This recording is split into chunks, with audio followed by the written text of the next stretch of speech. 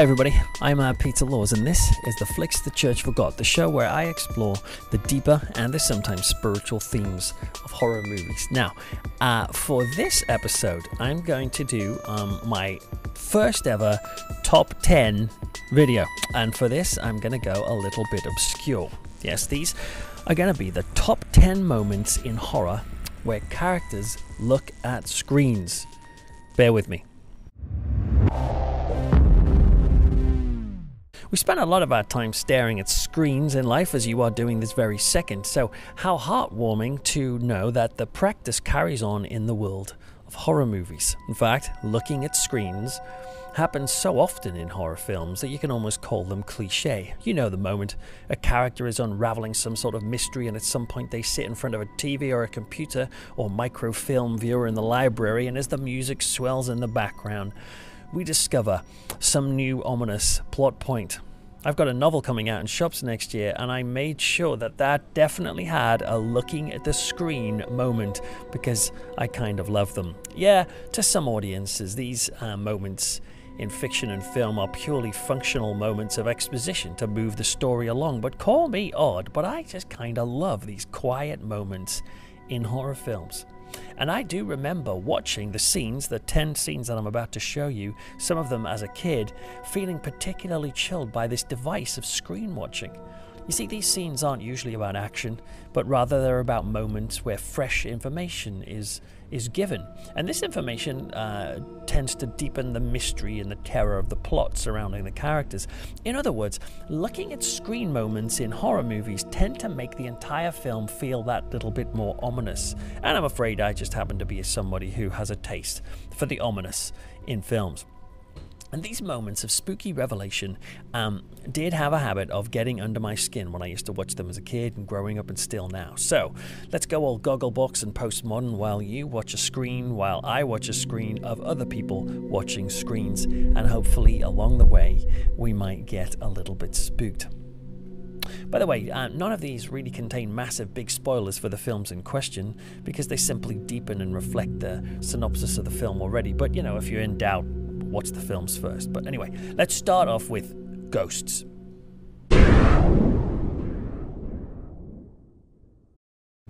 So at number 10, we've got The Changeling from 1980.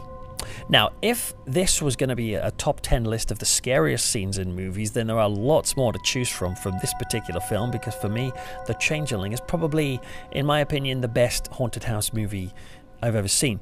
Uh, so the the staring at the screen moment in this film isn't particularly scary, but what it does do is help to deepen the plot of the film because it starts to unravel the history behind the house in question.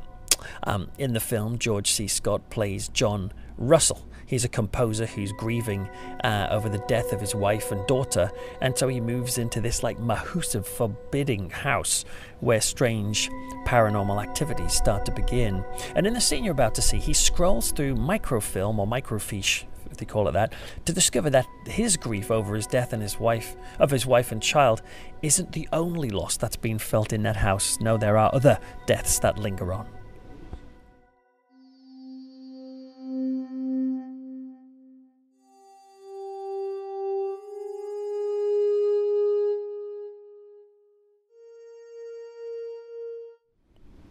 Seriously, if you've never seen The Changeling, you need to check it out. Uh, only you must watch it at night.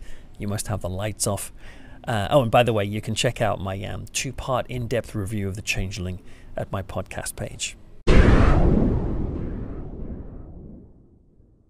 Okay, coming in at number nine, we've got The Fly from 1986.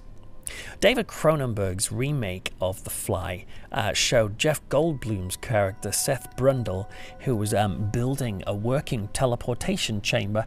Excitedly, he believes this will revolutionize world transport, and it does. Uh, it would, I mean. Um, but the atoms, it, basically, the atoms of any type of matter can be deconstructed and transmitted and then reconstructed at the other end basically a little bit like Wonka TV. Only in one experiment he didn't count on something getting into the teleporter or transporter with him. In this looking at a screen scene, Brundle starts to realize just what it was that got in there with him, um, and how it might explain why his body is slowly starting to rebel and mutate, why he's growing coarse black hairs on his back, for example. Now, The Fly is a, is a brilliant allegory of the power of disease. And this moment of revelation that we're about to see is probably replicated by many people who are ill and scroll through the internet self diagnosing themselves with horrendous diseases. Only in some cases, and in particularly this case of Seth Brundle, the condition is beyond doubt. There's a lot of standout moments in The Fly, the arm wrestling scene being one of them. Uh, but I do remember that when I first saw this as a teenager, it was this realization in this moment, along with Howard Shore's shivery score, that really gave me the chills. Give me a disc. Uh, I need the first teleportation, S. Brundle.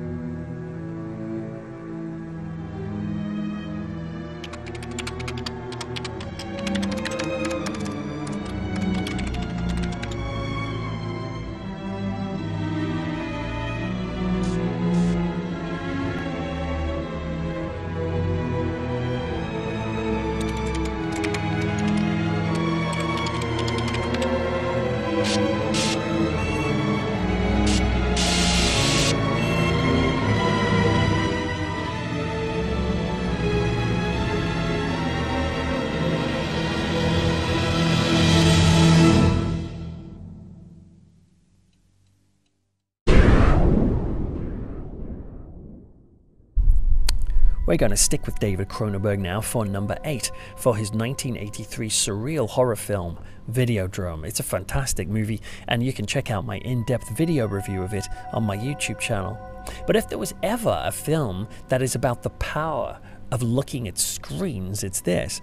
TV programmer Max Renn discovers that the seedy exploitation show that he's been seeing on pirated TV is way more powerful than he imagined. It's just that it won't only entertain the viewer, it will warp their entire perception of reality.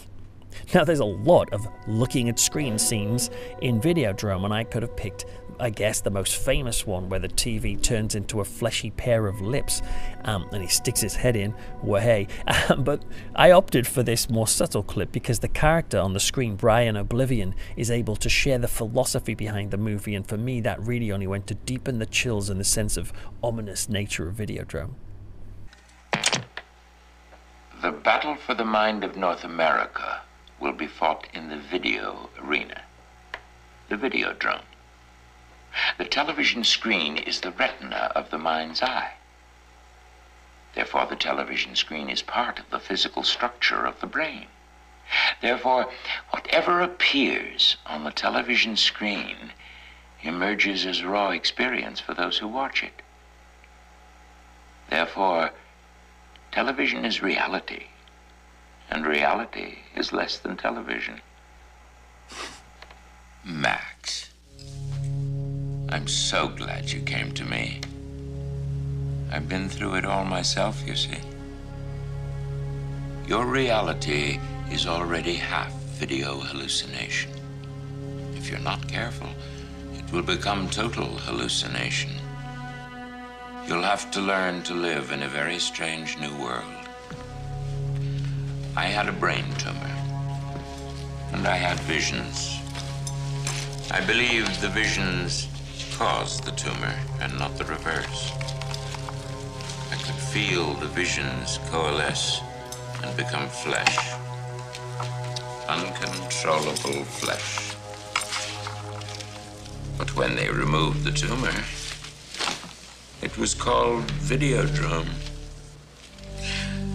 I was the I I was victim. But who's behind it? What do they want? I want you, Max. Okay, now we've reached number seven, and we fast forward to 2002 when M. Night Shyamalan, Shalayam, I can never say his name. Anyway, Signs, his crop circle horror, um, came out.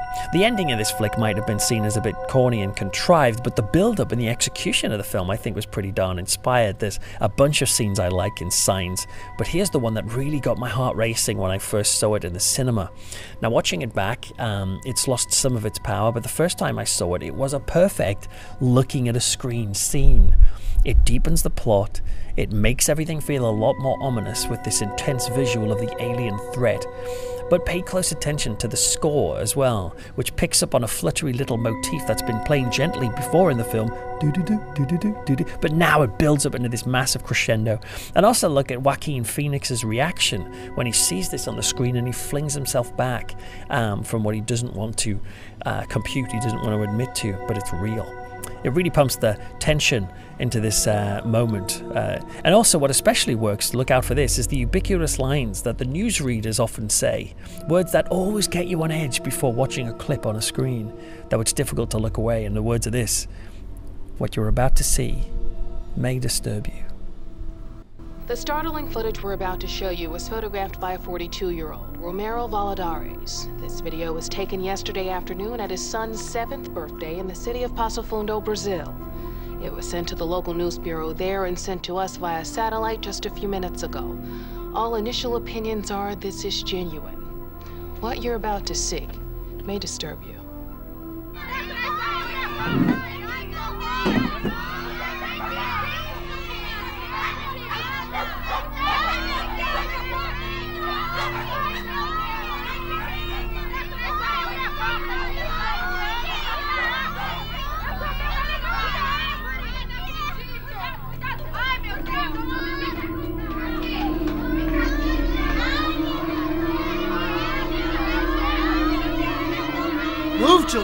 Vámonos!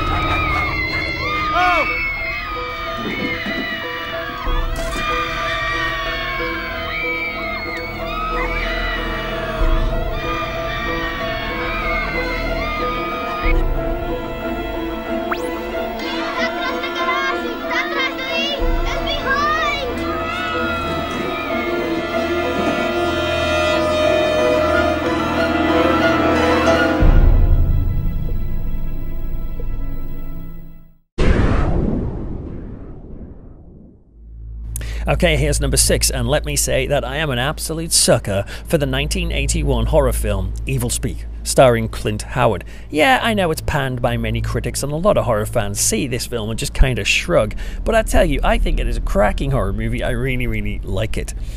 Um, so it's okay. It's a kind of just a riff on Stephen King's Carrie, where um, Clint Howard's character Cooper Smith is just picked on so much at a military academy that he takes his bloody revenge in the final reels.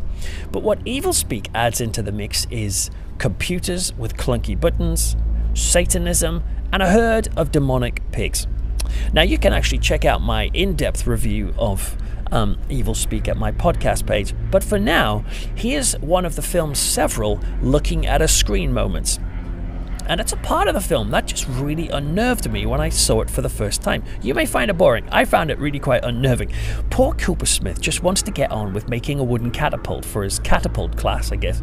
Um, but the students and the staff at his college bully him so much that he's lost all faith in people and the friendless nobody has to look out for outside help. And where does he get it? In a long dead devil worshipper called Esteban. And here in this scene, he types in sections of Esteban's diary into his computer and reads out the tran- sorry, reads back the translations. And I don't know, there's something about the words of Esteban and the fact that they seem to be appealing to this lonely bully boy, uh, bullied boy, um, just really creeped me out. Especially the last one with its slow zoom. Oh, and it probably didn't help that I was about 11 when I first saw this video. Nasty, that was banned at the time. Oh, anyway, just also check out the flickery green computer screen and the brilliant squelchy synth soundtrack by Roger, Roger Kellaway. Do not understand you, Cooper Smith. You have a fine mind. If only you would apply yourself. Well, I do try, sir. Well, you know my model catapult? I- I'm using one of the computers to check my configurations, so it'll be really accurate. Hmm. I hope it is for your sake. Now you'd best get out of here. You will be late for your next class. Yes, sir.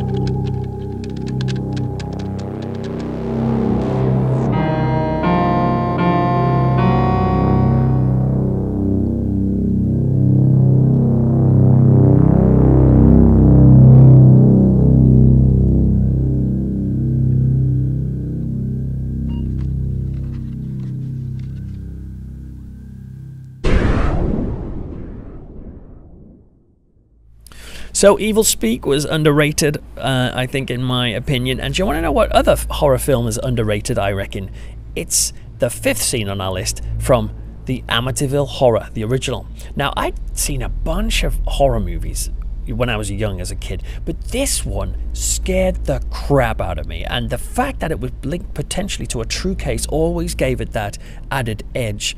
And hey, even if the Lutz's story of the Amityville haunting was made up, I'm undecided on that subject. The, the DeFeo murders that happened in the house a year beforehand are an absolute matter of fact and record. Now, there's a whole lot of scenes in the Amityville Horror which um, I personally found scary when I saw it, and I still find it scary now. But um, the film's looking at a screen moment did really jangle my nerves at the time. Margot Kidder is playing Kathy Lutz, who, along with her family, have moved into the Amityville home for cheap since it was uh, the site of a horrendous family murder the year before. And now um, she is terrified of the strange demonic activity that she's starting to see occurring in her home. But what is worse and what's more unsettling is that her husband's personality, James Brolin, is changing. He's becoming more and more angry, he's got a murderous look in his eye.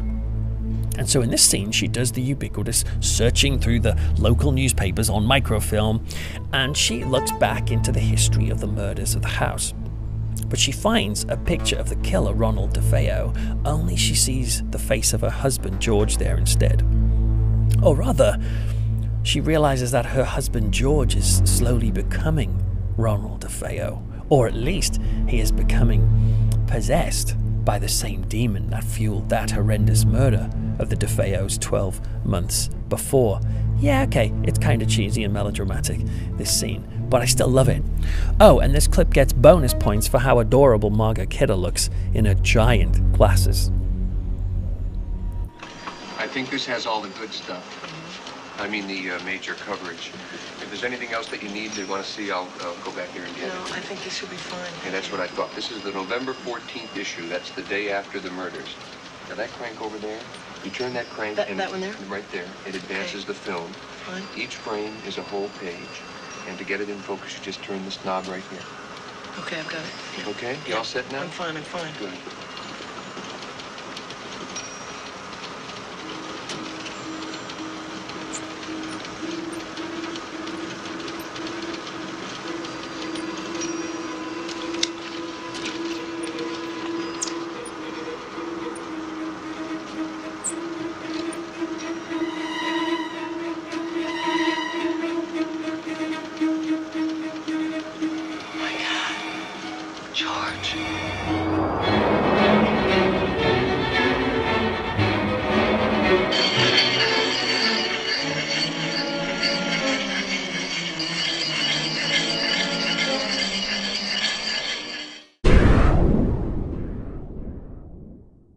Okay, coming in at number four, we have a film that doesn't just uh, feature a looking at screen scene, but rather the entire plot of this film is based around the dangers of watching images on TV.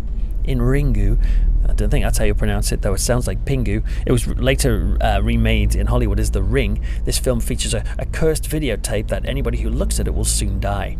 It's a popular idea in Japanese horror at the time that technology might be the conduit for supernatural forces. Now, um, it's all hinged here on a long haired woman who lives in a well. These days, the, the old uh, Japanese lady with long, lank, hanging black hair is as cliche in horror as a car breaking down outside a haunted house. So it's very easy to forget how much this looking at a screen moment scared the heck out of people when it was first screened back in 1998.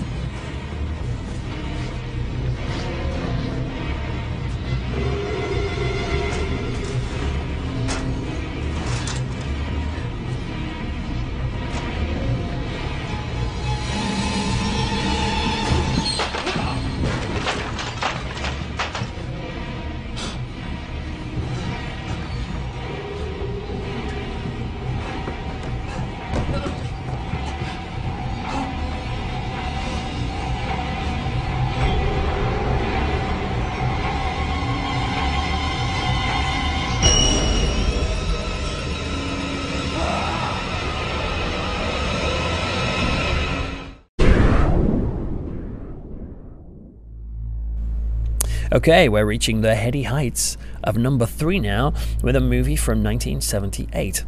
The 1970s was a hotbed of paranormal interest from UFOs, the Bermuda Triangle, psychic phenomena in particular, which is what this film's about. Uri Geller and others were wowing the world with spoon bending and mind power, and naturally, the horror world didn't take long to dive into this psychic fun with films like the aforementioned Carrie, um, The Sender, Patrick, among many, many others. But here's the looking at a screen moment from one of my uh, absolute favorite psychic horror movies, and that is The Medusa Touch. Now, this is a, a, I think, a fairly underrated horror thriller starring the mighty Richard Burton, who plays a man who has the power to create catastrophe with his mind. And um, throughout the film, we see he's able to like just cause plane crashes and suicides just with the power of thought. It's a really chilling, exciting film, I think.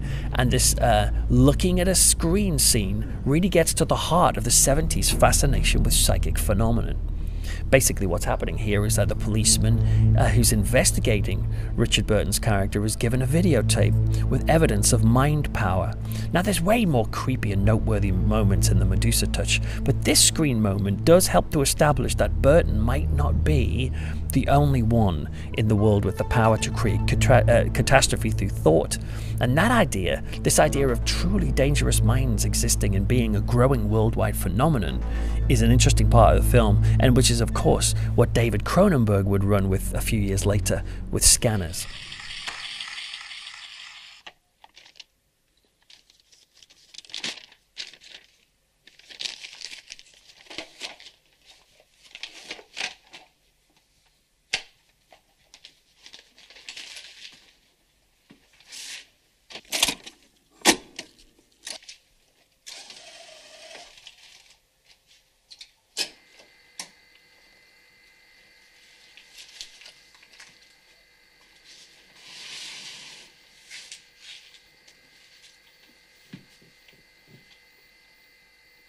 Well, Inspector, we've traced these experiments on telekinetics and mental powers. The first one is fairly familiar. It demonstrates the power of the mind to dominate pain. It's in the tradition of lying on spikes and walking on hot coals. This second experiment is much more interesting. The boy's head is linked to a kind of scoreboard. By the power of his thoughts, he can turn on lights and ring bells.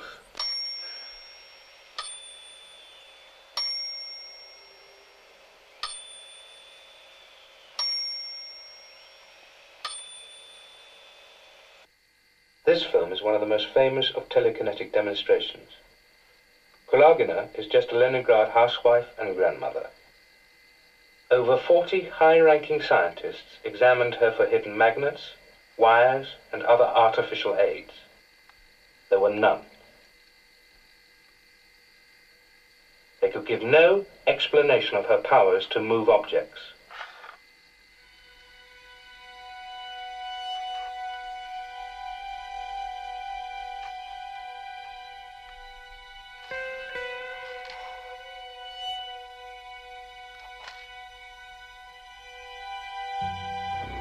Lastly, and the most dramatic,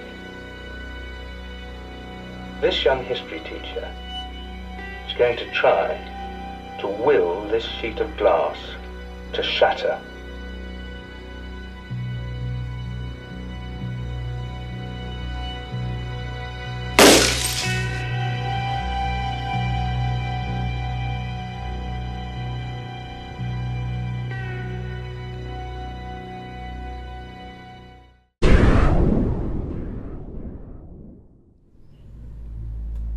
Okay, folks, so we now come to what I would say is my scariest looking at a screen moment. It's from the film The Babadook from 2014, a film that wowed critics and terrified audiences. And it was an emotionally draining um, exploration of the power of grief. Basically, where a young woman and her son, a six year old son, has to learn to cope with the death of her husband. Now, if you want my in depth review of The Babadook, you can check out my uh, YouTube channel, but just in a nutshell, it is a really draining, emotionally and frightening experience. And funnily enough, I found that the scariest moment in the film was its looking at a screen moment. There's a few others, but it's this one in particular I want to show you. Here, the grieving widow Amelia is trying to build a life after her husband dies, but she's sort of fallen into some sort of paranoid depression. But what makes it especially stressful is that she has to look after her um, six year old son, Sam, and she is struggling to cope with that. Amelia is trying hard throughout the film to be calm and all smiles for him, but the frustration with being alone and dealing with uh, this child in the midst of all of this grief is slowly growing into resentment, paranoia, and a worrying sense of anger. In this scene, uh, she sits at night and she watches a horrible news report about a child murder. And for many of us, if we see those sorts of reports on TV and the news, we would think, how could they, that person do that? But there are others in the world who, when they hit a level of such stress, they might watch a news item like that and say, not how could they do that, but rather, my God, that could have been me. I could do that. This looking at a screen scene, I think, captures the frightening worry and realization in Amelia in a very unsettling fashion.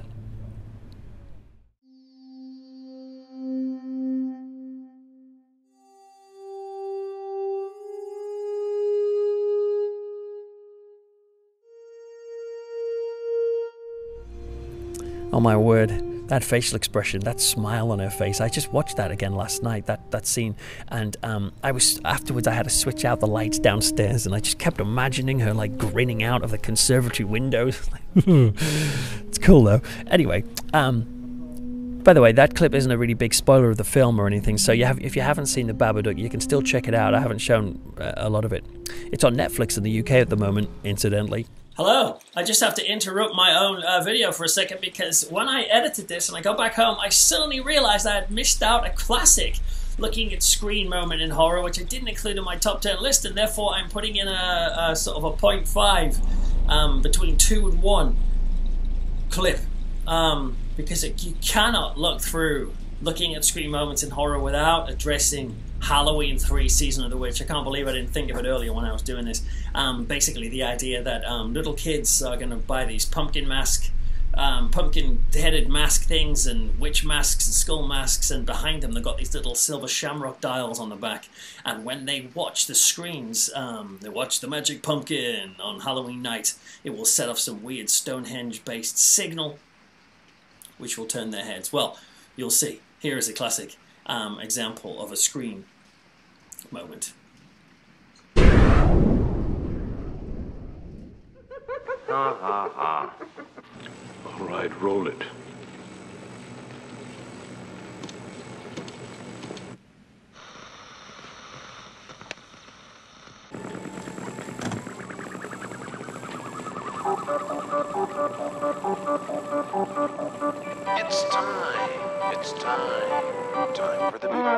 The same old stuff. Halloween has come. All you lucky kids with silver shamrock masks, gather round your TV set. Put on your masks and watch. Honey, don't get too close. You'll ruin your eyes. Jack-o'-lanterns. Gather round and watch. Watch the magic pumpkin. Watch.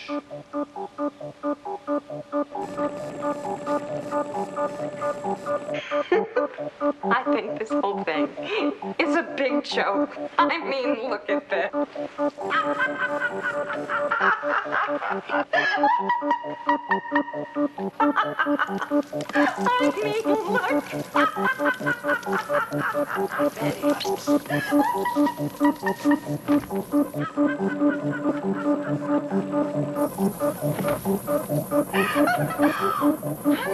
I mean,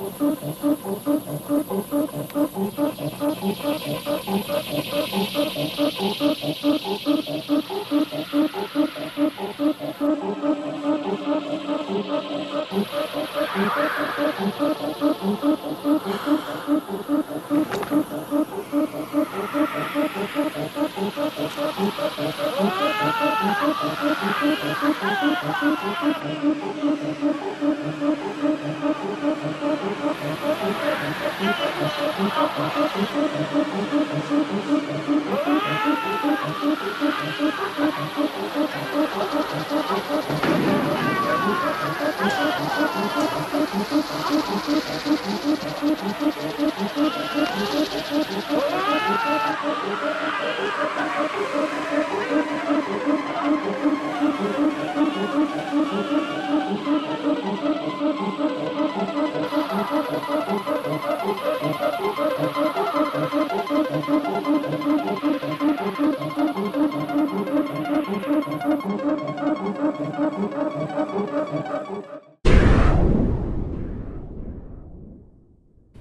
so far we've had screen staring moments that have led to personal tragedy in horror, but I want to now widen it out for the final one to the total apocalypse of the world, which I guess that's why it makes it number one. Although, by the way, these aren't ranked in order of brilliance, they're just in this order.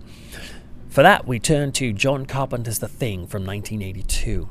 You can check out my in depth review of that film on my pod. You're getting the theme here on my podcast page, by the way.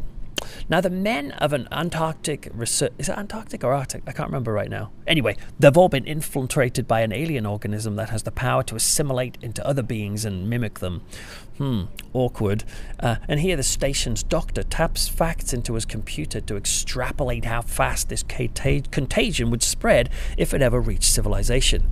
The thing is a brooding, bleak film anyway but I found that this looking at a screen moment was one of the most ominous parts of the whole movie because basically it's the realization that this alien creature wasn't just spelling the end for these unfortunate men, but actually they had just stumbled onto the death sentence of the entire planet.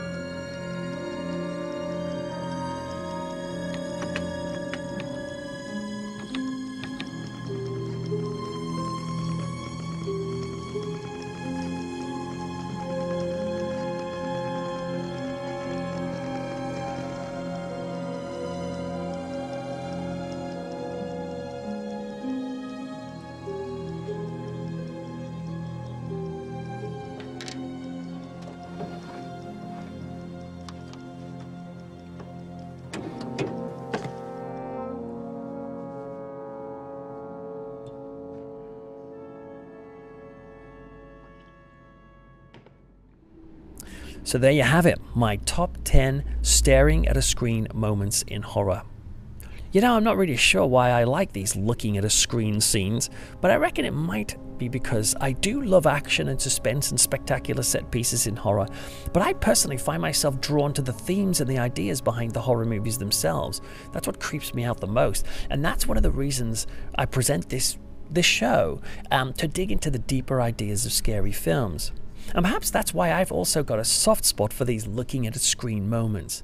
Because they are the times, I think, in horror films when the pace slows down just for a few minutes so that the audience, firstly, can take in some new plot information. That's very important. Um, but also uh, so that they can really get to grips with the gravity of how bad the situation is in the film. In The Fly, we're left with this devastation word fusion you know, the melding of animal and insect at a subatomic level. In the Amityville horror, we're thrown into the theme of demonic possession and the idea of a spirit of hate and violence warping the world. In my little, my, my cool little film Evilspeak, which I like, um, we learn the only hope this poor guy in the world has is an ancient devil worshipper who believes that Satan is God.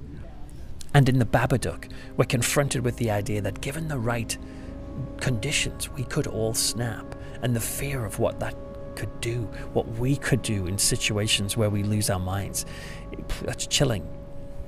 when you watch films, it's worth looking out for these looking at a screen moments um, to, because they, they can help you work out and whittle down the entire film to its essential messages, to its deepest themes. Now, of course, there's plenty of other um, on screen examples in horror movies I could have shared. For example, I mean, the one that really came to mind was the harrowing and really quite horrible moment in Henry Portrait of a Serial Killer, where two sociopaths are watching the crimes they videotaped, and that scene shows them as horribly voyeuristic until we realized um, that the audiences, like us as the audience, are doing exactly the same thing we are. We're sitting watching them watching their own work. I decided not to include that scene because personally I find it quite disturbing. Um, sorry. Um, or there's other on screen moments that didn't quite make the cut, like the gorgeous Brian De Palma thriller Blowout, where John Travolta's character stares at a screen as he tries to match up a sound recording to solve a political murder. But you know, that's not really quite horror, so I couldn't really put it in the list, so alas, it hit the cutting room floor. But rest assured, as long as scriptwriters want to reveal important plot information to the viewers without having a character clumsily coming in and saying it is exposition, then we're always going to have these staring at a screen moments in fiction and film. And I think that suits me completely fine because, as you can probably see already, I think they can be really effective mechanisms not only to deepen plot, but also to creep us out. And look, if you like looking at screens, then you've come to the right place because you can subscribe to my YouTube channel uh, and watch a whole bunch of videos, including um, my in depth horror movie reviews and also some horror movie song covers. And I also have, um, if you don't want to listen, look at screens, you can listen to my podcast. If you're up for it, you can follow me on Twitter at RevPeterLaws, or you can visit the website, theflicksthatchurchforgot.com. Or um, you can read my monthly horror movie column in the Fortean Times magazine, available in all good newsagents now. But until next time, look out and remember the next time you're looking at a screen, don't forget that in all likelihood these days, that screen is probably looking back at you. And also, don't forget the flicks that church forgot.